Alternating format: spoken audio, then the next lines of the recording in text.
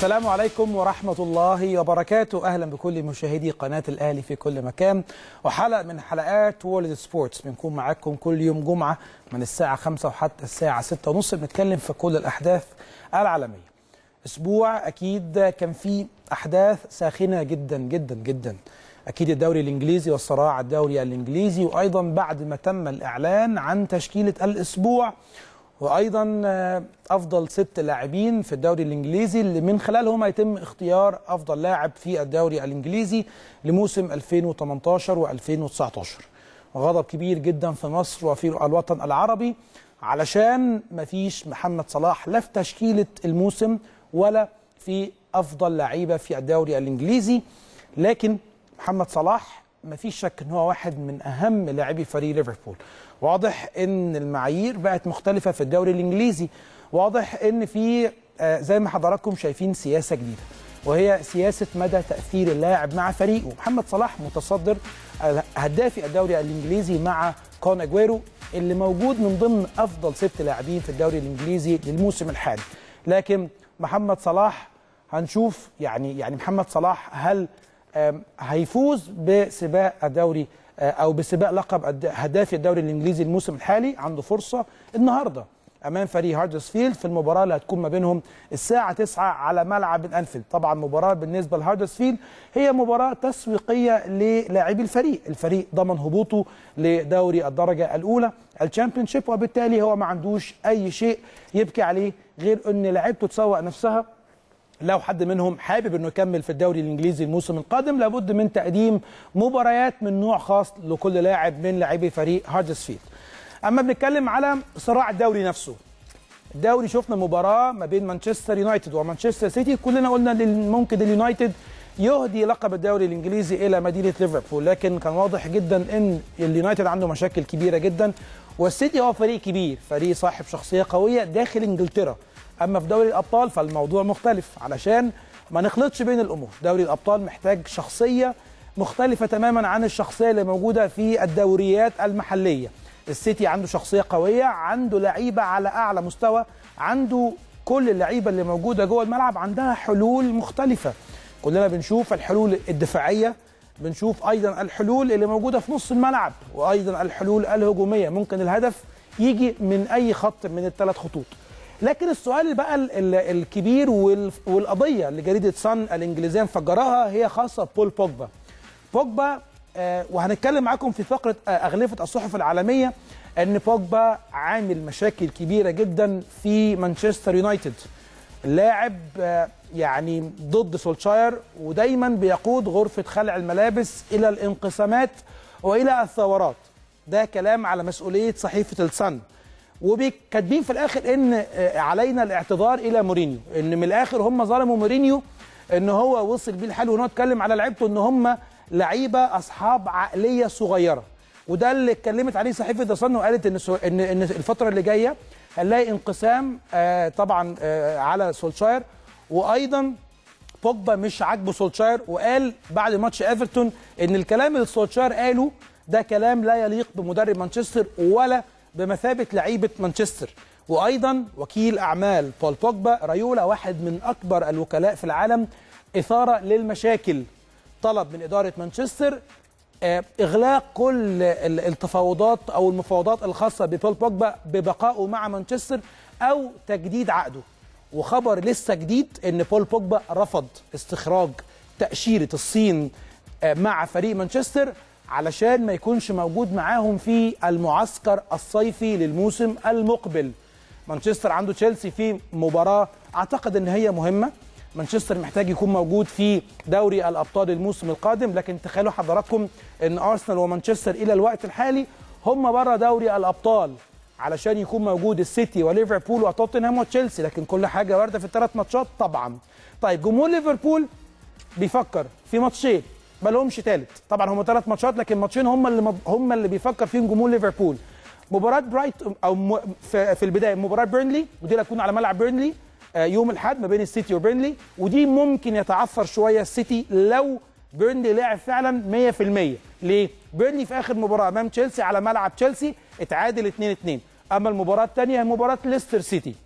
وبالمناسبة قررت رابطة المحترفين للدوري الإنجليزي إن هي لو وصل الأمر لآخر مباراة في الدوري الإنجليزي علشان يتم فيها الحسم آه، هيعملوا كاسين كل كاس في ملعب سواء ملعب الأنفيلد أو ملعب الاتحاد علشان خاطر الفريق الفايز يتم تسليمه. طب كا- قبل كده كان إيه اللي بيحصل؟ قبل كده كان بيكون في طيارة هليكوبتر بتنقل الكاس للملعب اللي بيتم تحديد الفايز فيه بشكل سريع. لكن لبعد الملعبين اللي هيكون فيهم آخر مباراتين سواء لليفربول أو مانشستر سيتي قررت الرابطة إن هي تعمل كاسين وميداليات ذهب سواء للسيتي أو أو لفريق ليفربول. الدوري الإنجليزي دايما دوري مثير دوري فيه قرارات بنتعلم منها زي تقنية الفار. الفار من الموسم القادم رسميا هيتم تطبيقه في الدوري الإنجليزي لكن بشروط. وهو إن حكم الفار اللي موجود في غرفة المراقبة غرفة مراقبة الفار وغرفة التحكم في الفار هو اللي هيقول القرار. طيب الاتحاد الدولي اعترض والاتحاد الأوروبي اعترض لكن إيه كان تبرير الرابطة في الدوري الإنجليزي؟ قالت إن إحنا مش عايزين نوقف المباراة لوقت طويل وبالتالي المباراة تفقد حماستها وبالتالي هيكون في تنسيق ما بين حكم الساحة وبين حكم الفار. الاتحاد الدولي معترض على إيه؟ والاتحاد الأوروبي معترض على إيه؟ الاتحاد الدولي معترض إن حكم الساحة هو صاحب القرار. وما ينفعش إن أي حد تاني يتدخل علشان يقول قرار غير حكم الساحة عشان كل المباراة من أولها لآخرها تكون تحت مسؤوليته. لكن زي ما بقول لحضراتكم الدوري الإنجليزي دايما بيتكلم على أو بيكون فيه كل جديد. الدوري الإيطالي خلاص يوفنتوس بيحسم لقب الدوري الإيطالي للمرة الثامنة على التوالي في إيطاليا. هو المهيمن والمسيطر. رونالدو موجود في 100% الموسم القادم موجود. مش هيمشي مش هيمشي. لكن أليجري ما بين إن هو هيمشي وبين إن هو هيقعد. لكن الاجتماع مع انيلي رئيس يوفنتوس بيقول إن أليجري موجود للموسم القادم. أليجري واحد من المدربين اللي أكيد لو قرر إن هو يرحل عن يوفنتوس هنلاقي أندية كتيرة جدا بتسعى إن هي تكون موجودة وراه روما وكونتي أعتقد إن الموضوع شبه حسم. ده على مسؤولية الصحافة الإيطالية. إن كونتي خلاص اتفق مع روما من خلال الموسم القادم هيكون هو المدير الفني القادم لذئاب روما. اما الدوري الفرنسي فبيعود إلى باريس سان جيرمان وباريس سان جيرمان كالعادة آه، بي- بيفوز بالدوري الفرنسي بلا منافس. أولمبيك ليون مارسيليا الأندية الكبيرة جدا موناكو كلهم بيغيبوا عن التنافس مع باريس سان جيرمان اللي بيفوز بالدوري بفارق آه، نقاط كبيرة جدا جدا. لكن باريس سان جيرمان في آخر مباراة أو اللي قبل الأخيرة خسر بخمس أهداف مقابل هدف وكانت مباراة كارثية بالنسبة لباريس سان جيرمان أما الدوري اليوناني بعد 34 سنة الدوري بيعود إلى باوك سالونيكا علشان يتوجوا بيه من زمن بعيد جدا والاحتفالات أكيد مختلفة تماما في مدينة باوك باوك النادي اللي لاعب ليه لعيبة مصرية كتيرة جدا جدا جدا. طبعا آه، مدينة باوك هي سالونيكي وبالتالي المدينة كان فيها احتفالات. هنوري لحضراتكم الاحتفالات في فقرة الفيديوهات المتنوعة وهتشوفوا مدى الجنون ومدى عشقهم وحبهم للعبه كرة القدم والاحتفالات النارية المختلفة اللي دايما بتكون في اليونان ليها شكل مختلف وليها أيضا طابع مختلف. هنتكلم أيضا على صلاح وميلنر وإيه اللي حصل ما بينهم في ركلة الجزاء. أكيد كلنا متعاطفين مع محمد صلاح لكن القلب بيقول إن محمد صلاح يشوط علشان ينفرد بالصدارة لكن العقل بيقول رقم واحد هو اللي يشوط. رقم واحد لأن النتيجة 1-0 أنا مش بدافع أو بهاجم أنا أنا بتكلم بالشكل الطبيعي بتكلم في مصلحة الفريق. ال- العقل بيقول ان ان النتيجة 1-0 مباراة صعبة أمام كارديف في ويلز وبالتالي ضياع ركلة الجزاء معناه إن ليفربول هيعاني لنهاية المباراة. وبالتالي لابد كان أفضل لاعب هو ميلنر اللي هو رقم واحد يسدد ركلة الجزاء. لو محمد صلاح لا قدر الله كان ضيعها كانت هتبقى مسؤولية كبيرة جدا عليه وكان هيتحمل ضغوطات أكبر من الطبيعي والفريق مش عايز ضغوطات غير يركز في مباراة دوري الأبطال أمام برشلونة وأيضا يركز في آخر ثلاث جولات ليه في الدوري الإنجليزي. أحداث كتيرة جدا جدا هنحكيها وهنتكلم أيضا عن برشلونة وبكرة لو بك لو برشلونة فاز بالمباراة في الدوري في الدوري الأسباني رسميا هو كمان هيحسم اللقب الأسباني قبل ما يروح لموقعة ليفربول علشان يتبقى لنا الدوري الألماني والدوري الإنجليزي في الدوريات الخمسة العالمية. لسه لم يتم حسمهم. هنروح لفاصل وبعدين نرجع نكمل معاكم باقي الأخبار والصحف والفيديوهات اللي دايما حضراتكم بتحبوها وبتتابعوها معانا هنا من خلال World Sports وقناة الأهلي. خليكم معانا ولكن بعد الفاصل.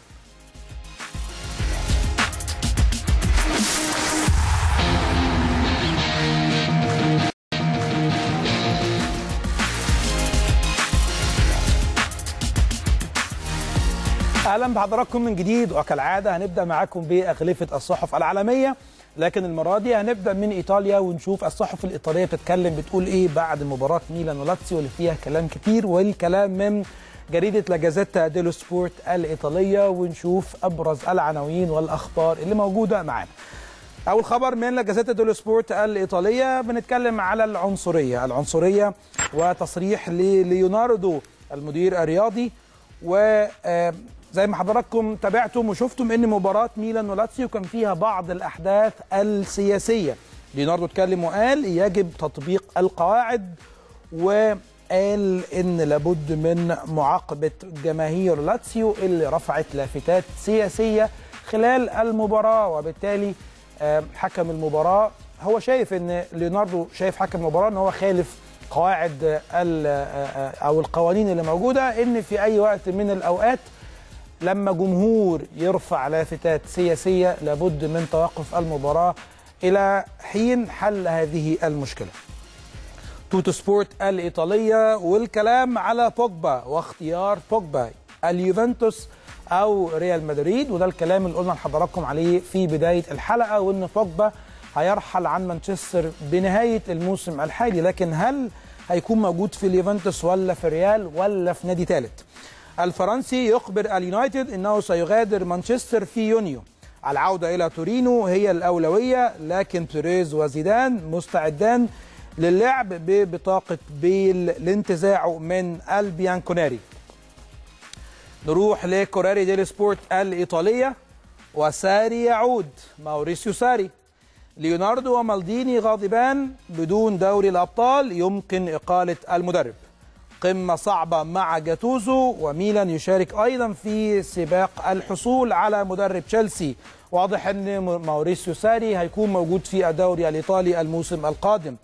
وهتافات عنصرية في مباراة ميلان ولاتسيو. والروسونيري يطلب من الاتحاد الإيطالي فتح باب التحقيق. نروح لإسبانيا ونشوف الصحف الإسبانية كاتبة إيه؟ والكلام من موندو ديبورتيفو الاسبانيه والبارسا الخارق. برشلونة هو النادي الوحيد في أوروبا اللي بيلعب على الثلاثية الدوري والكأس ودوري الأبطال. الدوري لو فاز في مباراة بكرة هيتوج رسميا بلقب الدوري. بيلعب في نهائي كأس الملك أمام فالنسيا واللي هيكون في شهر مايو. وأيضا وصل للمباراه قبل النهائية مع ليفربول واللي هتكون الأسبوع القادم. أسبوع حاسم للنادي الأكثر احتضانا للرياضات المختلفة بوجود عديد الألقاب على المحك. النادي الكتالوني بفرقة محترفة مرشح للفوز بستة ألقاب أوروبية وست بطولات دوري وست بطولات كاس. نروح لسبورت الأسبانية ونشوف كاتبين إيه. حفلة وكأس جديدة غدا يمكن أن يكون يوما عظيما البارسا يحضر لاحتفالات ضخمة في حال تحقيقه للقب الليجا في الكامب نو ضد ليفانتي. طبعا لويس هيسافر إلى برشلونة كي يسلم كأس الدوري للكابتن ميسي مباشرة بعد نهاية المباراة ضد ليفانتي. ساندرو روسيل وكلام ساندرو روسيل طبعا هو رئيس البارسا السابق وبعد ما تم تبريئه بعد اتهامه بعدة بعدة قضايا بيقول أنا سعيد جدا. ماركا الإسبانية والكلام على براهيم دياز هو الأبرز في تلك المباراة الصعبة. ريال مدريد يستعد للمنافسة اللي بيريدها زيدان للليجا. إبراهيم دياز واحد من اللعيبة اللي ريال مدريد تعاقد معاها من مانشستر سيتي. وهو لاعب يعني كل المتابعين يعني بيتوقعوا إنه يكون عنده مستقبل مميز جدا مع فريق ريال مدريد في السنوات القادمة. نروح لأس الأسبانية ريال مدريد يتعثر تعادل لا يحتمل أمام ختافي الذي يستمر بالمركز الرابع براهيم دياز كان اللاعب الجيد الوحيد. زيدان استحقينا أكثر من هذا. طبعا زيدان مش عاجبه التعادل الأخير أمام خيتافي لكن زي ما حضراتكم شايفين هو موسم كارثي بالنسبة لريال مدريد ولازم يستعد للموسم القادم بشكل أفضل من كده. نروح لألمانيا والكلام من فاز، فاز الألمانية كل شيء وارد في ديربي رو وده ما بين شالكا ودورتموند السبت المقبل هيكون بكرة وطبعا لو حصل نتيجة سلبية وبايرن ميونخ حقق نتيجة إيجابية فاللقب خلاص بنسبة كبيرة هيكون في ملعب الأليانز أرينا. نروح لإنجلترا وجريدة الصن والتحقيق الكبير اللي مفتوح في حق بوجبا. زي ما حضراتكم شايفين ثلاث نقاط لبوجبا. أول نقطة إن لاعب يعتقد إن سولشاير أقل من مانشستر يونايتد. النقطة الثانية إن اللاعب اللاعب متفهم إن سولشاير ليس هو الرجل المناسب لهذه المرحلة. والنقطة الأخيرة إن وكيل أعمال بول بوجبا يؤجل مفاوضات مانشستر مع اللاعب إلى حين انتهاء الموسم الحالي اللي بيعتقد الكثير والكثير من الصحافة والإعلام وأيضا من المقربين لبول بوجبا إنه هيغادر بنهاية الموسم إما لليوفنتوس أو لريال مدريد. لسه مش عارفين مين الأقرب. طبعا يعني جريدة ذا صن دي كانت الجريدة الأبرز اللي إحنا جبنا لحضراتكم الكلام والموضوع الأبرز وفي الآخر هم يعني يعني هم عارفين ومقدرين إن لابد من الاعتذار إلى جوزيه مورينيو اللي كان بيقول كلام زي الكلام اللي حضراتكم بتقروه حاليا لكن ما كانش حد مصدقه لكن واضح إن مورينيو كان عنده حق وبيقول أو صن بتقول في نهاية الحديث إن لابد الاعتذار إلى جوزيه مورينيو. نروح للصحف الفرنسية وآخر صحيفة موجودة معايا هي ليكيب الفرنسية، الصحيفة بتتكلم على الانتقالات في فرنسا وبتؤكد أن الكثير من المتغيرات هي طبعا الفرق هتعرفها نهاية الموسم وإن في نجوم كتيرة هتتحرك سواء بالانتقال إلى الدوري الفرنسي أو خارج الدوري الفرنسي. طبعا كمان الصحيفة بتتكلم على لقاء بوردو وأولمبيك ليون في الدوري الفرنسي مؤكدة أن فوز ليون يعتبر مهما لسعيه في التأهل إلى دوري أبطال أوروبا. طيب. خلصنا مع حضراتكم أغلفة الصحف العالمية وأهم الأخبار اللي موجودة في الصحف العالمية. وكالعادة الدنيا في إيطاليا مشتعلة جدا. في إنجلترا الدنيا مستقرة إلى حد ما.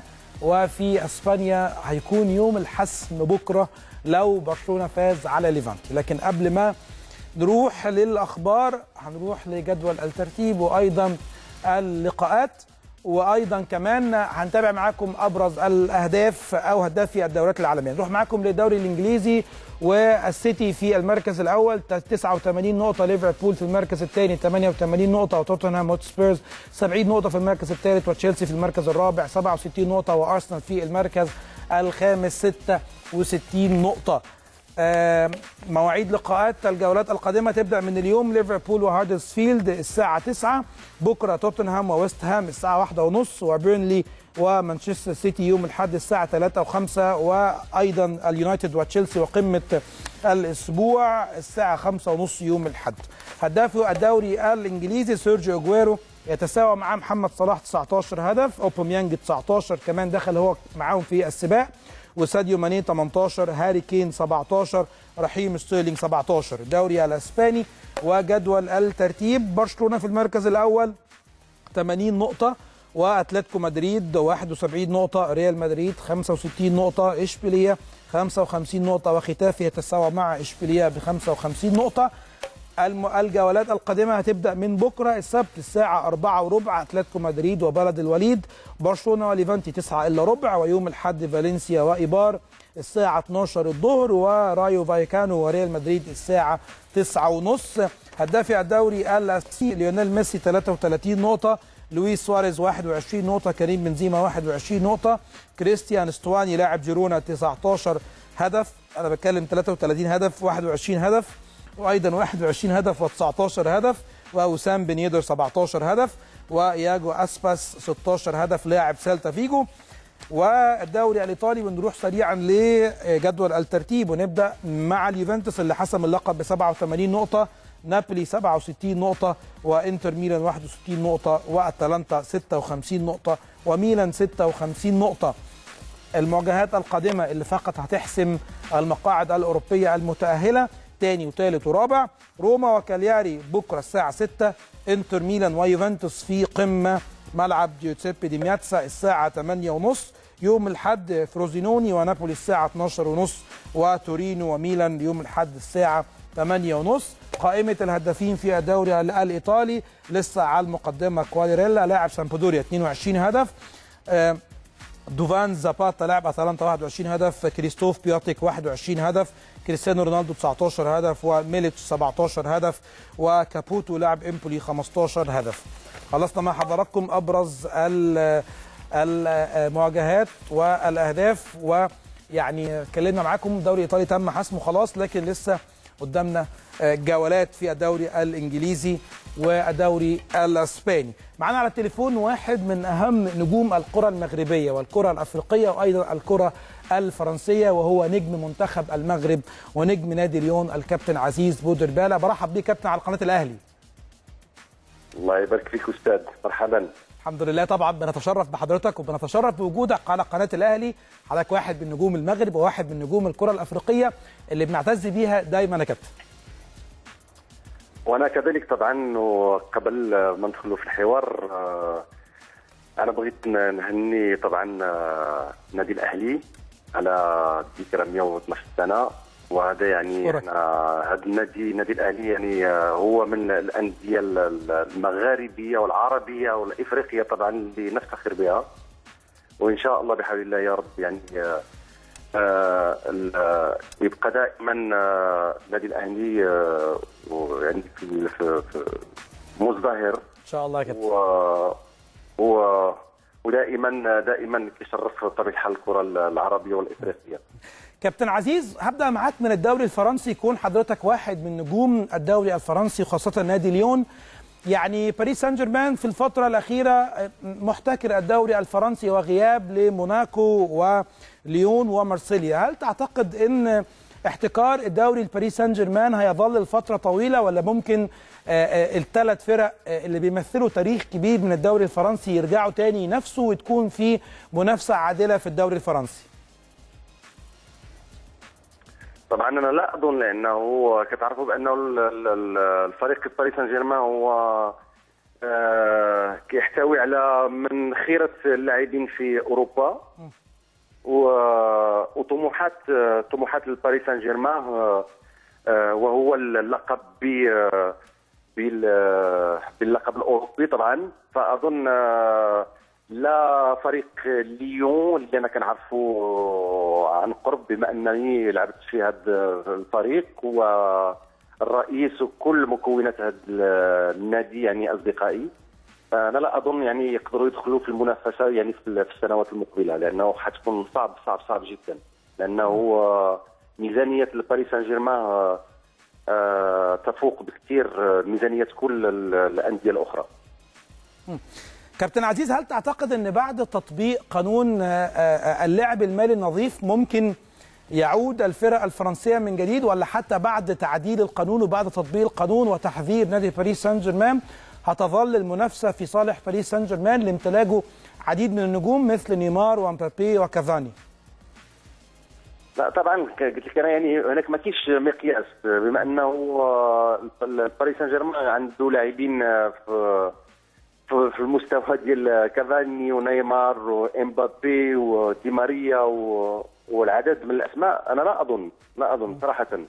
وهذا شيء آه، طبعا آه، طبعا شيء مزعج آه، كثير آه، بالنسبة ل- بالنسبة ل- بالنسبة للكرة ال- بالنسبة للأندية بطبيعة الحال الفرنسية وب- وبالنسبة للكرة الفرنسية ككل. كابتن عزيز هبدأ معاك أو هروح معاك لامم أفريقيا والبطولة اللي إن شاء الله هتكون موجودة في مصر ومجموعة منتخب المغرب اللي فيها المغرب وجنوب أفريقيا وكوت ديفوار وناميبيا. وعايز أعرف رأي حضرتك في المجموعة وفرص منتخب المغرب في الفوز بلقب أمم أفريقيا. آه، صراحة إنه أنا آه، يعني أظن آه، طبعا آه، آه، وأنا كنت كنت واحد من المحظوظين صراحة في- بحضوري في قرعة آه، آه، كأس الأمم الإفريقية في في مصر وبالضبط في آه، في, في الأهرام. آه، يعني دوزنا صراحة ليلة كانت تاريخية وهذا يعني من شيمة آه، وقيم ال- المصريين اللي عندهم يعني اللي عندهم العادة في تنظيم بطولات بحال في هذا الحجم. فأنا أظن آه، شخصيا بأنه آه، بما أن ال- ال- ال- ال- المنتخب المصري هو يحتوي على عناصر آه، أو لاعبين في مستوى عالمي مثل آه، محمود صلاح طبعا ونيني وآخرين. وطبعا وكذلك التجربه اللي خيدها ال- ال- المنتخب المصري. في المجموعة كاين الكونغو الديمقراطية وأوغندا وزيمبابوي. أنا لا أظن في إذا في أولا وقبل كل شيء منتخب مصر في المباراة الأولى ضد زيمبابوي انتصر في هذه المباراة هذه. طبعا آه، غادي يكون الولوج للدور الثاني آه، بدون آه، بدون بدون إشكال. وأنا ما عنديش هناك شك ما عنديش شك بما أن هذه الدورة هذه في بلدنا الحبيب بلدنا الثاني مصر غادي تكون دورة من آه، ممكن تكون من أفضل من أفضل الدورات آه، ديال ال- ال- ال- كأس إفريقيا للأمم. وطبعا هو بالنسبة ل- بالنسبة للمنتخب الوطني المغربي. يس اللي كيتواجد في ال- المجموعة الرابعة مع الكوت ديفوار وجنوب إفريقيا وناميبيا. أنا إحنا المغرب الحمد لله اليوم عندنا منتخب قوي منتخب آه، عنده عناصر آه، خدات واحد تجربة و وخبرة كبيرة في هذه المباريات الدولية بالإضافة بهذه المشاركات ديال هاد اللاعبين اللي الآن آه، أغلبيتهم خداو واحد وصلوا لواحد السن. اللي آه، اللي هما محتاجين اللقب اللقب إفريقي. وأنا أظن غادي تكون هذه نقط من نقط القوة ديال المنتخب المغربي. والكوت ديفوار حنا فزنا عليها في آه، آه، في اخفائيات كأس العالم ال- الأخيرة. و- وأظن بالنسبة بالنسبة للمغرب التأهل ديالها ما غاديش يكون مشكل. في استثناء المنتخب المجموعة الخامسة اللي فيها تونس ومالي وموريتانيا وانغولا جوج الدول عربية اللي غادي تنافس على غادي تنافس على على الولوج لل- للدور الثاني.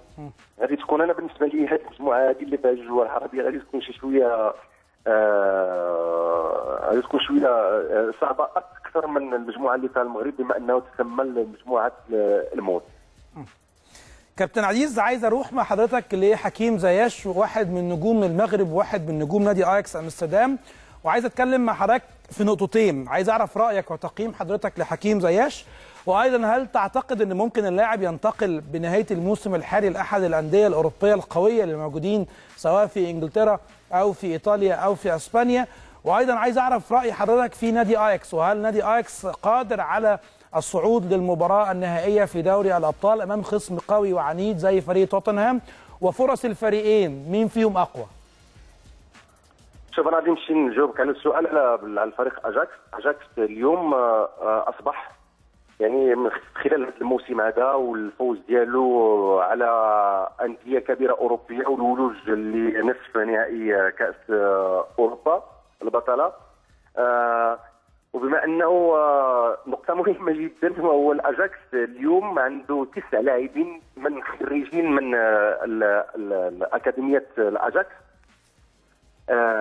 فهذا كيعطي آه، رغبة جديدة للأندية الأخرى الأندية الأوروبية لأنه الكل اليوم ما بقاش كيصبح يتكلم على ال على ال على ال على طريقة لعب البرشلون أو أو ريال مدريد أو ليفربول أو الأندية الأوروبية الكبيرة. فاليوم الكل كيهضر على طريقة اللعب ديال الأجاكس. فهذا الاجاكس حنا كنعرفوه متبعينه من زمان.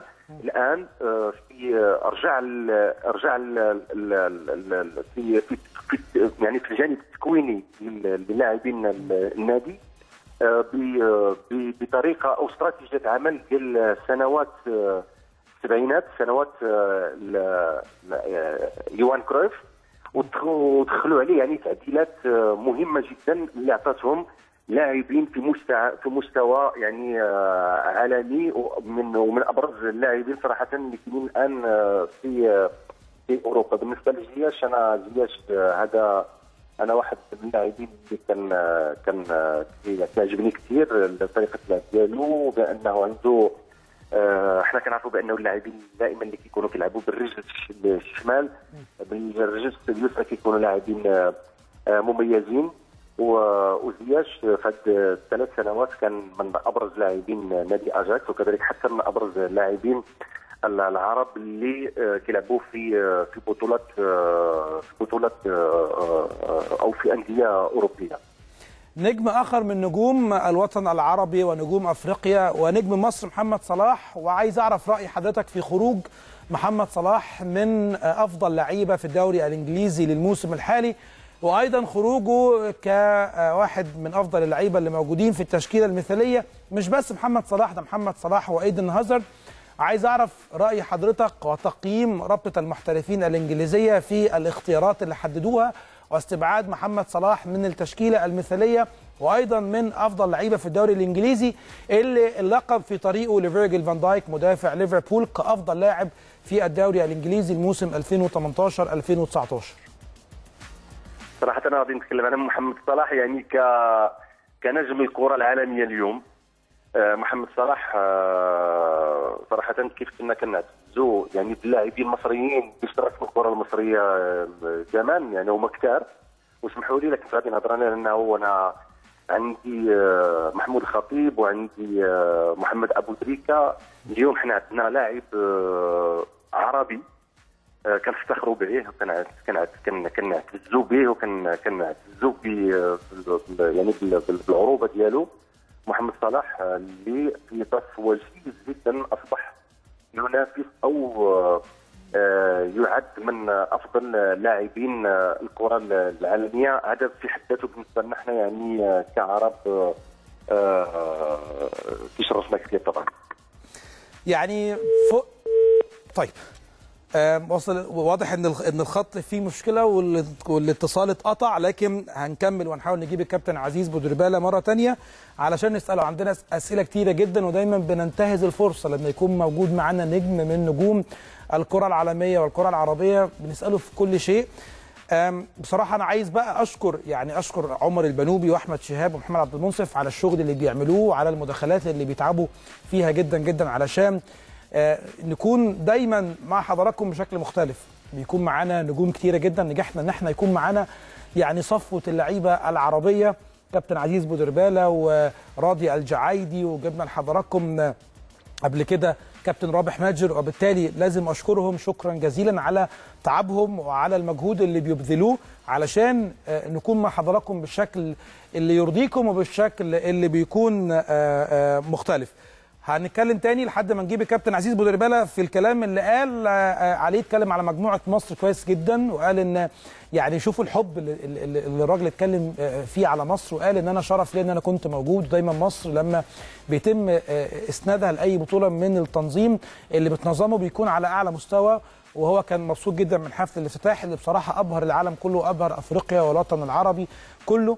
كمان اتكلم على منتخب المغرب وحظوظ منتخب المغرب في المجموعة وأيضا اتكلم على منتخب تونس كمان واتكلم على كل المنتخبات العربية وده أكيد بيدل على مدى احترام الكابتن عزيز بودرباله لكل المنتخبات وإن هو أكيد بيتمنى لهم التوفيق كلهم إن شاء الله ونتمنى إن اللقب الأفريقي يكون يعني إحنا بنتكلم بما إن إحنا بنتكلم في مصر فمصر يكون اللقب إن شاء الله من نصيبنا. لو لا قدر الله لم يحالفنا التوفيق نتمنى إن هو يكون لقب أفريقي شمال أفريقي المغرب أو تونس أو الجزائر. كمان اتكلم على حكيم زياش واتكلم على فريق اياكس وزي ما إحنا كلنا بنتكلم على اياكس قال إن فريق اياكس هو من ريحة يوهان كرويف. وزمن اياكس الجميل وزمن اياكس اللي كان مسيطر فيه في أوروبا واللي كان ليه شأن كبير جدا في أوروبا.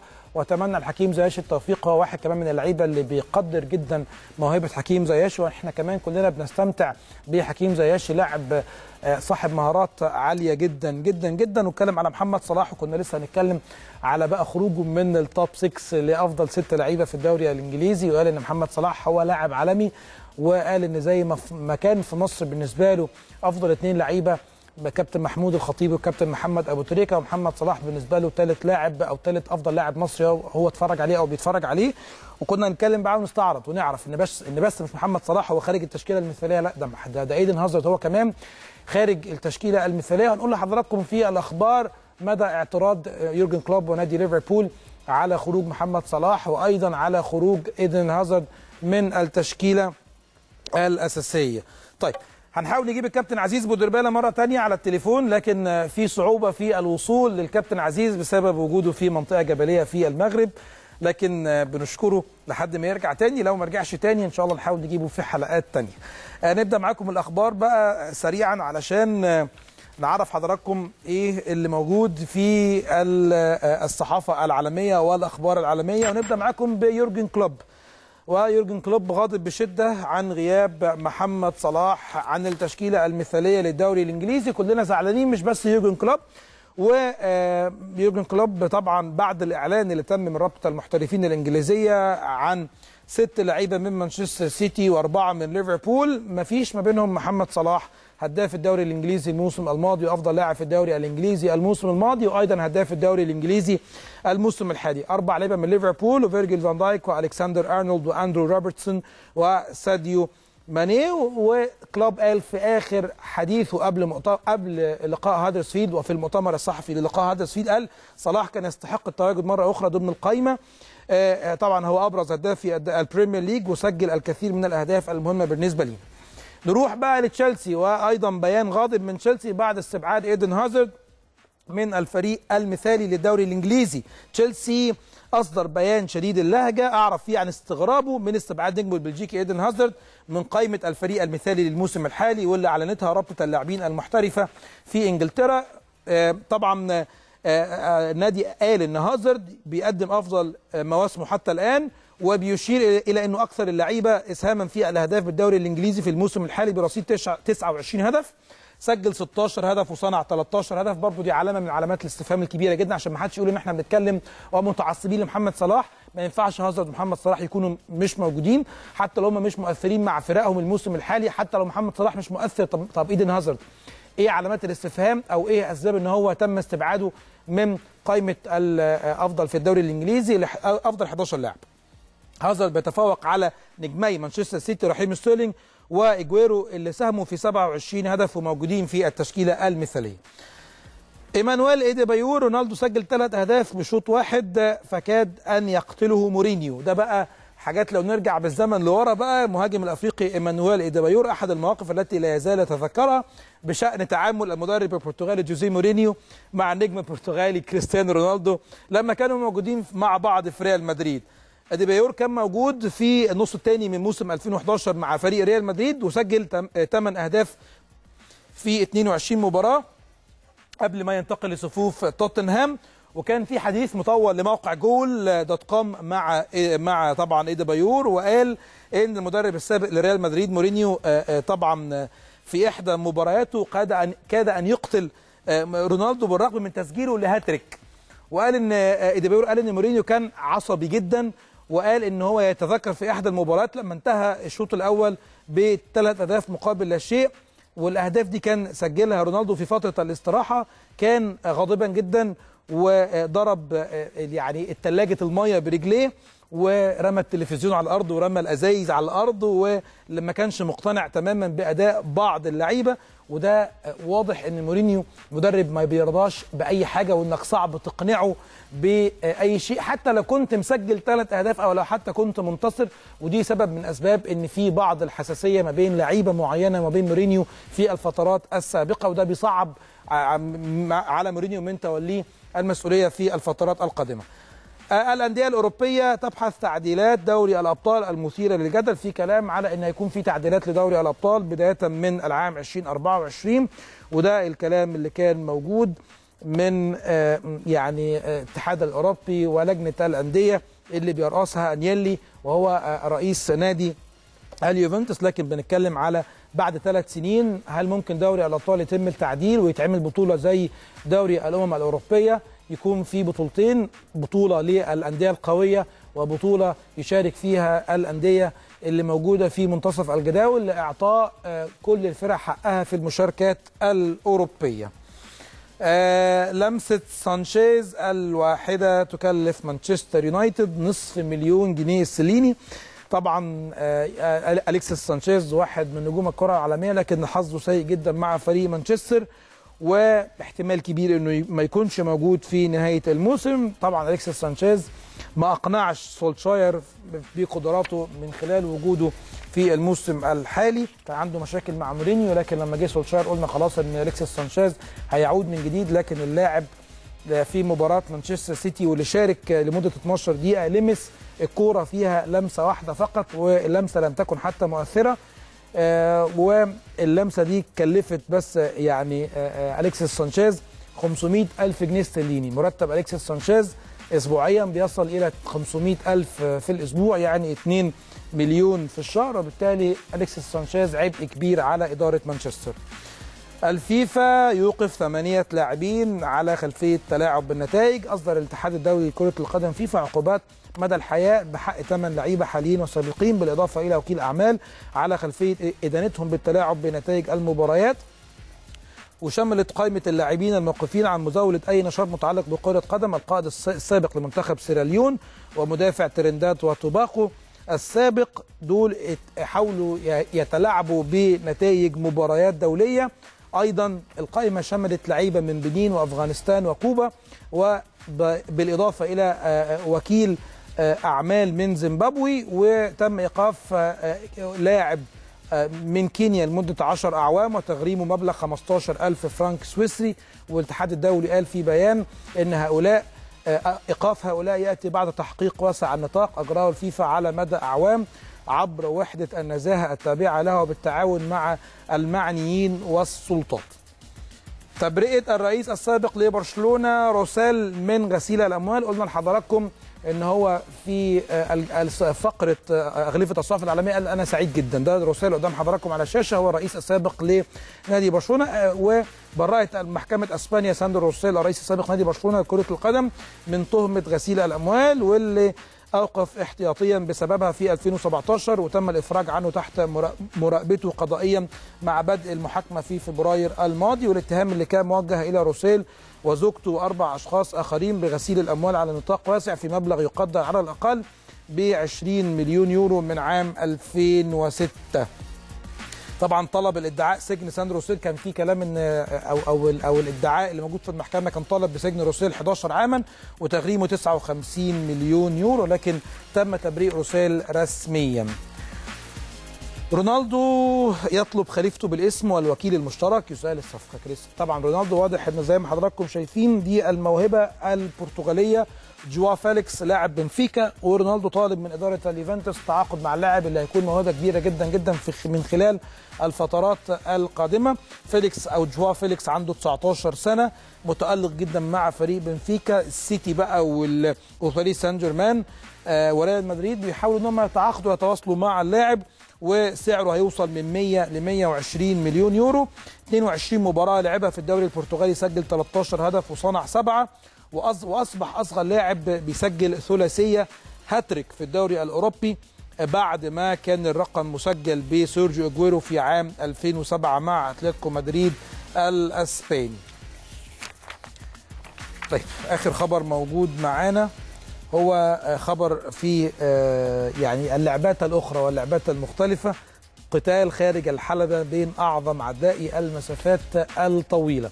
زي ما حضراتكم شايفين إن كان في تبادل العدائان البريطاني مو فرح والإثيوبي هايلي اتهامات تتراوح بين السرقة والاعتداء بالضرب وسط تلميح بان بان القضية سترفع إلى القضاء وده قبل أيام من خوض البريطاني دمار ماراثون لندن. يعني في ماراثون كبير في في لندن الأيام اللي جاية وواضح إن في مشاكل ما بين العدائين اللي قدام حضراتكم على الشاشة. لكن يعني الاثنين نجوم واحد منهم توج ب ذهبيتي سباق 10000 متر في أولمبياد أتلانتا 96 وسيدني 2000 وطبعا والآخر طبعا كان عنده أربع ذهبيات أولمبية في سباق 5000 و10000 متر وكان في كلام بالاتهامات إن كل واحد فيهم سرق حاجة وكلام كتير كده زي ما حضراتكم شايفين واضح إن الاثنين بسم الله ما شاء الله الاثنين يعني وحوش جوه وبره حلبة السباقات. طيب وصلنا مع حضراتكم ل الفقرة المهمة جدا واللي دايما حضراتكم تتابعوها ودايما بتكون فيها يعني فيديوهات رائعة وممتعة ودايما بتكون حصرية. هنا معانا في World Sports فقره الفيديوهات المتنوعة. ونبدا معاكم بأبطال الدوريات. واليوفنتوس هو بطل الدوري الإيطالي للمرة الثامنة على التوالي لكن أكيد احتفالات اليوفنتوس كانت مختلفة من داخل غرف خلع الملابس. في مباراة قوية أمام فريق فيورنتينا لكن المباراة كانت خارج ملعب اليوفنتوس وبالتالي كانت الاحتفالات أكثر داخل غرف خلع الملابس خاصة مع المدير الفني أليجري تعالوا نشوف احتفالات فريق اليوفنتوس باللقب الإيطالي للمرة الثامنة على التوالي ونرجع نكمل مع حضراتكم ومن إيطاليا إلى اليونان ومدينة سالونيكي وباوك بطل الدوري اليوناني بعد 34 سنة. طبعا يعني زميلنا العزيز عمر البنوبي هو واحد من مشجعين نادي باوك وهو بيحب فريق باوك جدا جدا فإحنا بقى جبنا له احتفالات في نادي باوك والمدينة المجنونة بكرة القدم والمدينة اللي فعلا بتعشق كرة القدم. قلنا باوك واحد من الأندية اليونانية اللي احترف فيها لعيبة مصرية كتيرة جدا جدا جدا.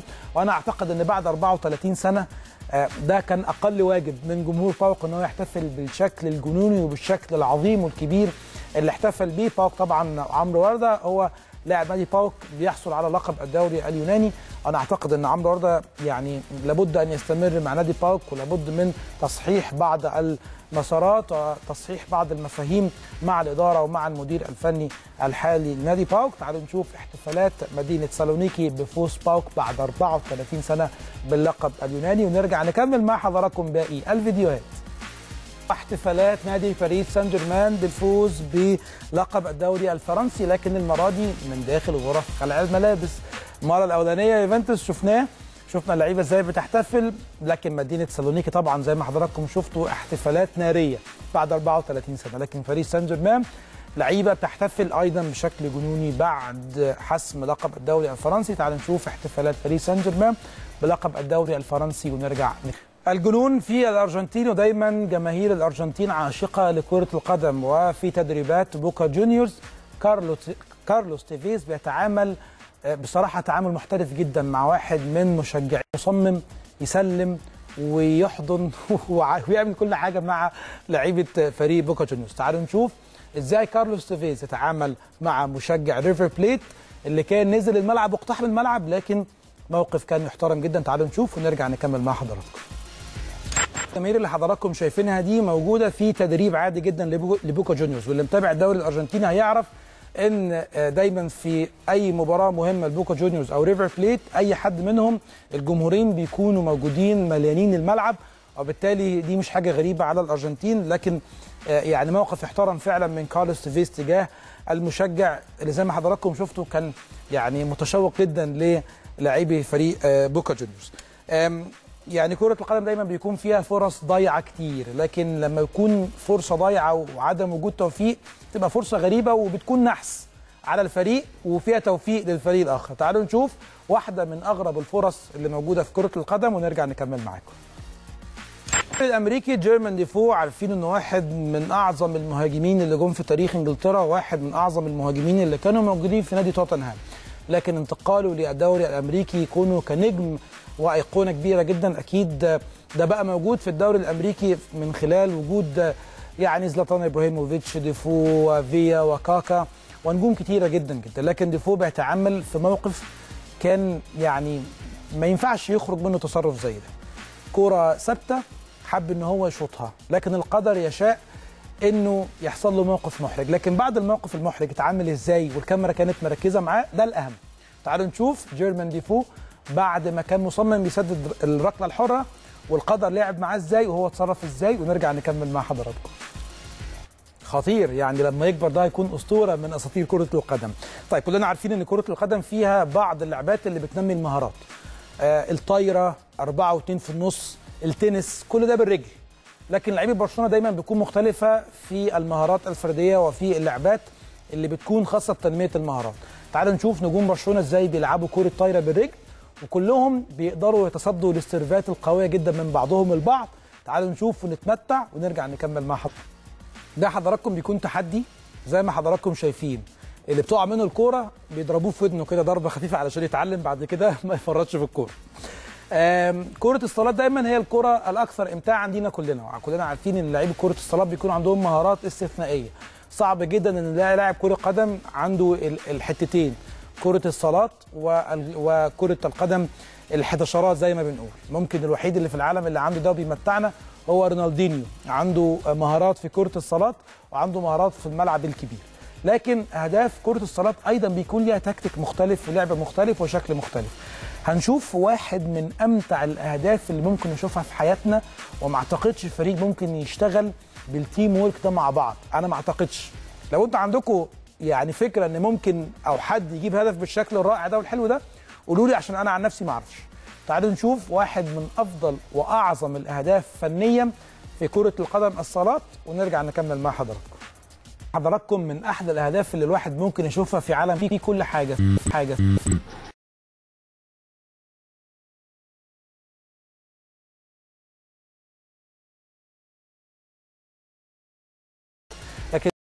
النهارده عندنا في الحلقة أهداف مميزة جدا وأهداف في مختلف الدوريات الدوري الأمريكي الدوري اللاتيني دوريات الشباب دوريات الناشئين حتى في دوريات الهواة.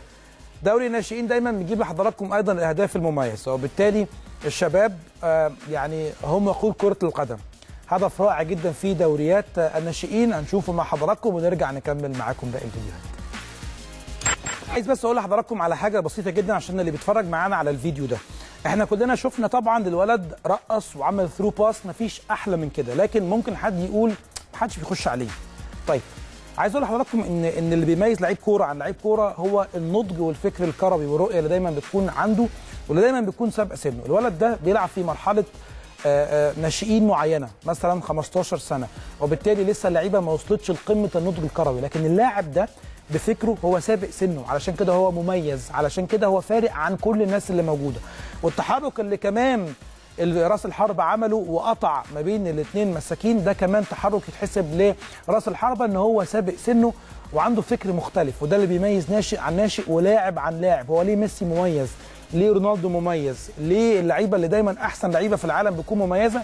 علشان بيكون وصلت لقمة النضج الكروي وأيضا بيكون عندها رؤية مستقبلية عارفة هي بتعمل إيه وعارفة ال- الخطوة اللي جاية بعد ما تستلم الكرة هي إيه. ودايما زي ما مدربين كتير بيتكلموا معانا الأهم من إن أنت تستلم الكوره الخطوة اللي بعد ما تستلم الكوره هتعمل فيها إيه. دي كانت نقطة بس حبيت إن أنا أوضح لحضراتكم عشان ما حدش ما حدش يستسهل المواقف ولا الأهداف اللي بنوريها لحضراتكم دي لكن هي صعبة جدا جدا جدا في الفكر والرؤيه الدوري الأرجنتيني ومهارة استثنائية أعتقد إن هي صعبة تتعمل في ملاعب حداشرات. ممكن تتعمل في ملاعب خماسية أو في كرة الشارع أو كرة الشراب زي ما حضراتكم عارفين. تعالوا نشوف مهارة استثنائية في الدوري الأرجنتيني ونرجع نكمل مع حضراتكم. لما حضراتكم شايفين بيكون فيها مهارة ممتعة جدا ومهارة استثنائية من نوع خاص. ودايما بنجيب لحضراتكم زي ما أنتم متعودين آه، الحاجة الجديدة الحاجة الغريبة اللي حاجة دايما مش بتلاقوها غير معانا هنا في وورلد سبورتس زي ما بيكون معانا مداخلات مميزة جدا بيكون كمان معانا فيديوهات مميزة. كرة القدم لعبة بيت- بيتجمع فيها كل المشاعر المختلفة للبني آدمين. الفرحة والزعل والتعصب والعياط والضحك وكل حاجة. لكن أكيد في الفترة الأخيرة تابعنا إن ممكن يكون آه، يعني آه، في المدرجات أحداث مختلفة. إيه أغرب حاجة ممكن تيجي في دماغك تحصل في المدرجات؟ فكر شوية. طيب تعال نشوف إيه اللي ممكن يحصل في المدرجات. ونرجع نكمل مع حضراتكم كم بقى ممكن يحصل إيه في المدرجات غير إن أنت تشجع؟ ممكن تتقدم لخطيبتك وتطلب منها ال- الزواج رسميا في المدرجات. ويا سلام بقى لو أنتوا الاثنين بتشجعوا فريق واحد وبتحبوا نفس اللعب. وزي ما وزي ما حضراتكم عارفين يعني قليل قليل جدا جدا لما تلاقي واحد آه، مراته أو بنته أو أي حد عنصر نسائي في البيت مهتم بلعب كرة القدم وبيكون حريص إن هو يكون موجود معاه في المدرجات. ممكن في البيت تتفرج على الماتشات أو تتابع معاه كل الدوريات لكن تكون موجود معاك في المدرجات الموضوع بيكون صعب شوية.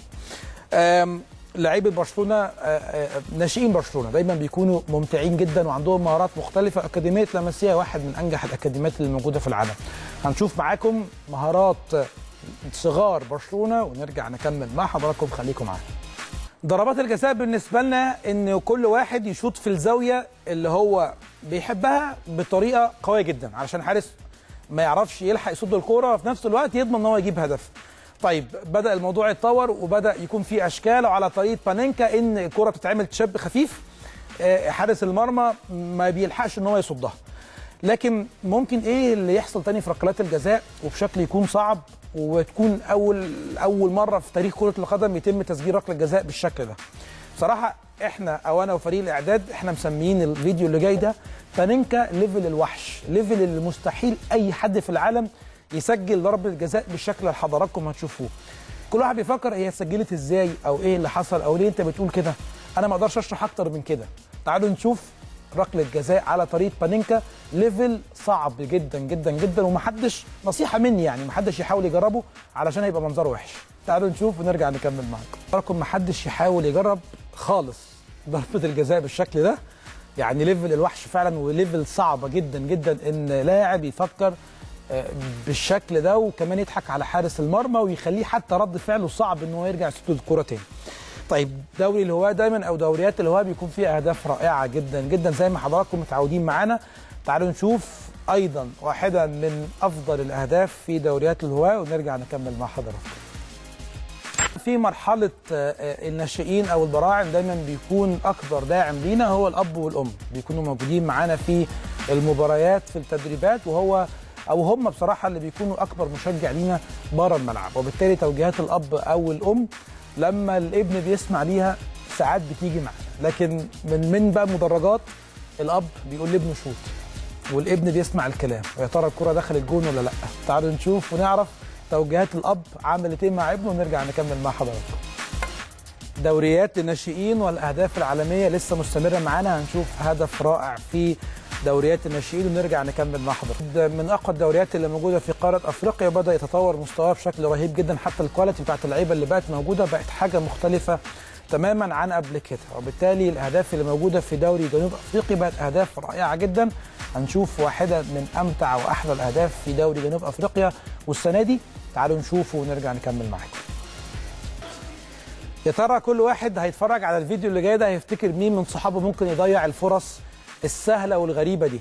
تعالوا نشوف أغرب الفرص الضايعة في دوريات الهواة ونرجع نكمل مع حضراتكم. freestyle ومهارات الشوارع اللي بيكون دايما مختلفة. تعالوا نشوفها ونرجع نحاول نخلص معاكم باقي فيديوهات طيب وصلنا مع حضراتكم لنهاية حلقة اليوم من World Sports بشكر طبعا عمر البنوبي وأحمد شهاب ومحمد عبد المنصف على المجهود الرائع اللي بيعملوه في المداخلات وفي الحلقة بشكل عام. إن شاء الله نشوفكم بقى على خير وكل سنة وحضراتكم طيبين بمناسبة شم النسيم وإن شاء الله يكون أسبوع كله أجازة سعيدة. نشوفكم نفس الميعاد يوم الجمعة إن شاء الله من خمسة لستة ونص. السلام عليكم ورحمة الله وبركاته.